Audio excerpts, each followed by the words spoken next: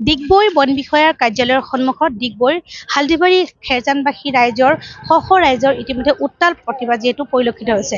জানিব পৰা অনুসৰি আজিৰ পৰা প্ৰায় কিছুদিনৰ পূৰ্বে যিটো ডিগবৈৰ এই হালদিবাৰী খেৰজান অঞ্চলত এটা বন্য হস্তি যিহেতু বৈদ্যুতিক তাঁৰত সংযোগ হয় যিটো মৃত্যু মুখত পৰিছিল আৰু এই মৃত্যুৰ লগ ঘটনাৰ লগত জড়িত থকা অভিযোগত যিটো সেই গাঁওখনৰ পাঁচজন যি লোক তেওঁলোকক এই বন বিভাগৰ তৰফৰ পৰা এখন জাননী প্ৰেৰণ কৰা হৈছিল কিন্তু গাঁওখন খালী কৰি দিবৰ বাবে। আৰু ইয়াকে লৈ দেখা গৈছে এই যি বৰ much. খেৰজান হালদিবাৰীৰ লোকসকল তেওঁলোকে এনেদৰে আহিছে আৰু ডিগবৈ বন বিষয়াৰ কাৰ্যালয়ৰ সন্মুখত তেওঁলোকে উত্তপ্ত এক পৰিস্থিতিৰ সৃষ্টি কৰিছে। কাৰণ তেওঁলোকক ন্যায় বিচাৰিছে। কিয়নো ডিগবৈ এই যি বনাঞ্চলিক এই যি গ্ৰাম্য অঞ্চলৰ এই গাঁওৰ লোকসকল আৰু তেওঁলোকে যিহেতু এতিয়া ন্যায় বিচাৰিছে কাৰণ তেওঁলোকে তাৰ পৰা যিটো তেওঁলোকক আঁতৰি যাবৰ বাবে যিটো জাননী প্ৰেৰণ কৰা হৈছে তেওঁলোকে তাৰ পৰা আঁতৰি যাব ক'লৈ। আৰু ইয়াৰ উচিত ন্যায় বিচাৰি তেওঁলোকে বন বিষয়াৰ কাৰ্যালয়ৰ সন্মুখত ইতিমধ্যে এক উত্তপ্ত পৰিস্থিতিৰ সৃষ্টি কৰিছে। আমি পোন পোনপ্ৰথমে সেই গাঁৱৰ ৰাইজৰ কাষলৈ যাব চেষ্টা কৰিম। এজন স্থানীয় যুৱক আছে কি ক'ব? যিহেতু আপোনালোকক এই গাঁওখন খালী কৰিবলৈ পাঁচজনলৈ জাননী প্ৰেৰণ কৰিছে বন বিভাগে।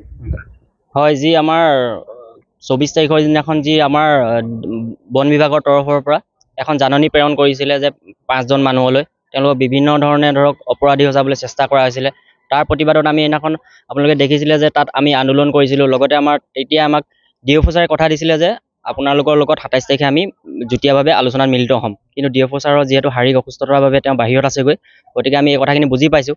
আৰু ডি এফ ছাৰে আমাক আজি ডি এফ ছাৰৰ আশ্বাস প্ৰদান কৰাতহে আমাৰ স্থানীয় যিসকল আজি মানুহ ওলাই আহিছে শ শ মানুহ ওলাই আহিছে তেওঁলোকে পৰৱৰ্তী পৰহিলৈ পৰহিলৈ তেওঁলোকক ন্যায় প্ৰদান ন্যায় প্ৰদানৰ বাবে যিখন আলোচনা সভা সেই সভাখন আমাৰ খেৰজান অঞ্চলত অনুষ্ঠিত হ'ব বুলি কথা দিছে।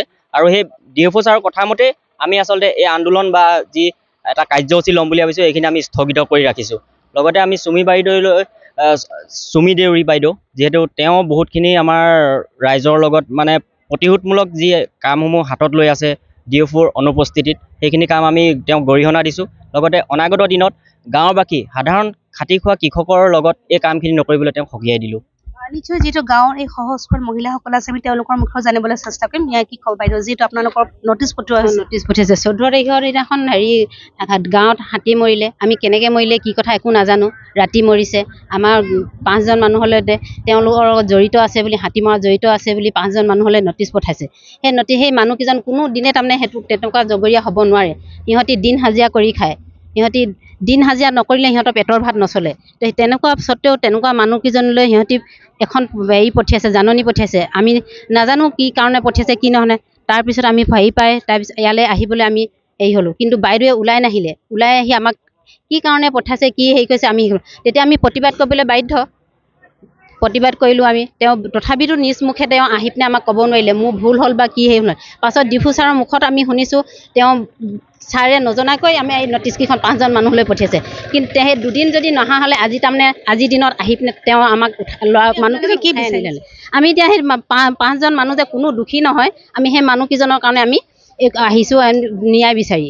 কিন্তু ন্যায় নিবিচাৰিলে আমাক ন্যায় যদি নকৰে আমি আমি আকৌ প্ৰতিবাদ কৰিবলৈ আমি সাজু হ'ম।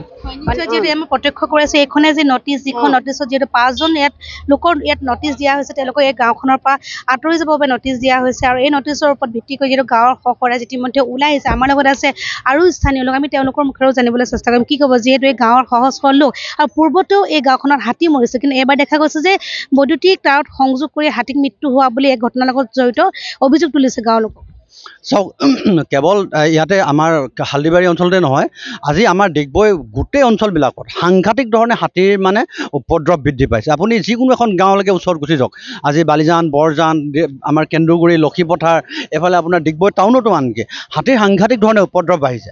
এই হাতীৰ উপদ্ৰৱটো মানে ৰোধ কৰিবৰ কাৰণে বন বিভাগে এতিয়ালৈকে ব্যৱস্থা গ্ৰহণ কৰা আমি দেখা নাই। তেওঁলোকে কেনেকৈ হাতীৰ পৰা মানুহক ৰক্ষা কৰিব পাৰি? আমাৰ গোটেই মানুহবিলাকে ৰাতিপুৱা তিনিটা বজাৰ পৰা আপুনি কল্পনা কৰক যে মানুহে তিনিটা বজাৰ ৰাতিপুৱা তিনিটা বজাতে শুই উঠি গৈ তেওঁলোকে খেতি কৰে। আৰু যিমান খেতি কৰি থাকে সেইখিনি হাতীয়ে কোনোবা এদিনাখন আহি একেদিনাখনে আহি গোটেই তহিলং কৰি শেষ কৰি পেলায়। এই যে মানুহবিলাক কিমান কষ্টত আছে এই মানুহবিলাকৰ মনৰ যিটো অৱস্থা এই অৱস্থাটো কিন্তু বন বিভাগে বুজিবলৈ চেষ্টা কৰা নাই। তেওঁলোকে আমাক হাতীৰ পৰা নিৰাপত্তা দিবলৈ ব্যৱস্থা গ্ৰহণ কৰা নাই। তাৰ বিপৰীতে কেইদিনমানৰ পূৰ্বে এটা হাতীৰ মৃত্যু হ'ল। হাতীটো কেনেকৈ মৰিছে মানে ৰাইজে কোনো নাজানে। তাৰ অভিযোগত এজন মানুহক জেললৈ ভৰাই দিলে। ঠিক আছে বাৰু তেওঁ যদি কিবা প্ৰমাণ পাইছে সেইজনক জেলত ভৰালে ভৰালা। কিন্তু এতিয়া শেহতীয়াকৈ দেখা গ'ল যে পাঁচজন মানুহক মানে আকৌ তেওঁলোকে নটিচ দিছে। এতিয়া এই কথাটো কেনেকৈ সম্ভৱ? যে মানে এটা হাতী মানে পাঁচজন মানুহৰ ঘৰত হাতীত মানে কাৰেণ্ট লাগি পিনে আহি মৰিছেহি নেকি? এইটোতো সম্ভৱ নহয়। আৰু এজন মানুহৰতো এনেকুৱা এজন দিছে যিজনৰ ঘৰত কাৰেণ্টেই নাই। গতিকে তেনেকুৱাকৈ বন বিভাগে মানুহৰ বিৰুদ্ধে মানে ভুৱাকৈ কিছুমান নটিচ তেওঁলোকে পঠাই দিছে। তো তাৰ বিৰুদ্ধে আমি ৰাইজৰ মানে ৰাইজৰ প্ৰতিবাদ হৈছে ইয়াতে। আৰু দ্বিতীয় দ্বিতীয় যিটো কথাটো হ'ল সেই কথাটো হ'ল যে এই আমাৰ যিটো মানে অঞ্চল তাতে যেতিয়া হাতীটো মৰিছে হাতী মৰাৰ পিছত আমাৰ ইয়াৰ ৰাইজে ইয়াত মানে যিটো খাজনা দিব লাগে সেই খাজনা দিবলৈ আহিছে তেতিয়া খাজনা নলওঁ বুলি কৈছে। কৈছে যে আমি খাজনা নলওঁ বোলে তাত মানুহে হাতী মৰিছে। আৰে হাতী মৰাৰ লগত আমাৰ খাজনা লোৱাৰ কি কথাটো আছে? আমাকতো এইখিনি এলটমেণ্ট কৰা মাটি। আমিতো এইখিনি মানে বন ধ্বংস কৰি আমি ইয়াতে মানুহ বসবাস কৰা নাই। গতিকে এই কথাটো আমি তেওঁলোকক সকীয়াই দিবলৈ আহিছোঁ এই ধৰণৰ যাতে ভুল ভৱিষ্যতে নকৰে আৰু তাতে মানুহবিলাকক খেচেৰা মানে গাঁও বুলি কৈছে। এই কথাবিলাক মানুহে কেতিয়াও সহ্য কৰিব পৰা নাই। গতিকে সেইকাৰণে আমাৰ গোটেই ৰাইজ ওলাই আহিছিল সেইদিনাখন আন্দোলন কৰিলে। আৰু আন্দোলনৰ পিছত আজি এটা আলোচনা দিয়াৰ কথা আছিল।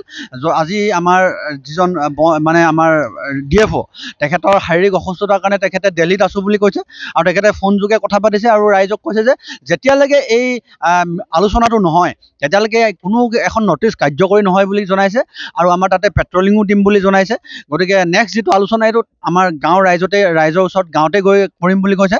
সেইকাৰণে আমি তেওঁৰ কথা শুনি আশ্বস্ত হৈ আজি আমাৰ কাৰ্যসূচীটো আমি মানে নল'লোঁ আৰু ভৱিষ্যতে যদি আমাৰ আলোচনাত আমাৰ আকৌ মানে ফলাফল যদি আমি ভবা ধৰণে নহয় আকৌ যদি আমাৰ মানুহক এই ধৰণে নটিচ দি মানে টৰ্চাৰ কৰা হয় তেতিয়াহ'লে কিন্তু আমি আকৌ ভয়ংকৰ কাৰ্যসূচী ল'বলৈ বাধ্য হ'ম। হয় নিশ্চয় যিহেতু হাতী আৰু মানুহৰ সংঘাতে এক ভয়ংকৰ ৰূপ ধাৰণ কৰি থকাৰ সময়তে ইতিমধ্যে দেখা গৈছে ডিগবৈ বন বিভাগৰ বিৰুদ্ধে এক গুৰুতৰ অভিযোগ স্থাপন কৰিছে যিহেতু এই গাঁওবাসীৰ লোকে কিন্তু নিৰাপত্তাৰ ক্ষেত্ৰত বন বিভাগ কিছু ব্যৰ্থ হৈছে। কিন্তু ভয়ংকৰ যি হাতীৰ যি উপদ্ৰৱ এই উপদ্ৰৱে যিহেতু বহু লোকক ক্ষতি কৰিছে বহু গাঁও অনিষ্ট কৰিছে কিন্তু বন বিভাগে এই ক্ষেত্ৰত নিৰাপত্তা দিয়াৰ বিপৰীতে দেখা গৈছে যে এতিয়া এই গাঁৱৰ সহজ সৰল লোকক যিটো পাঁচজন লোকক তেওঁলোকৰ যিটো সেই গাঁওখন খালী কৰি দিবৰ বাবে তেওঁলোকক নটিচ প্ৰেৰণ কৰিছে। আৰু যাকে লৈ এতিয়া গাঁৱৰ শ শ ৰাইজ ওলাই আহিছে এনেদৰে ডিগবৈ বন বিভাগৰ কাৰ্যালয়ৰ সন্মুখত তেওঁলোকে যিটো উত্তাল হৈ পৰিছে আৰু তেওঁলোকৰ যদি এই ন্যায় নাপায় তেতিয়া অনাগত দিনত তেওঁলোকে আৰু জংগী আন্দোলনৰ হুংকাৰ প্ৰদান কৰিছে।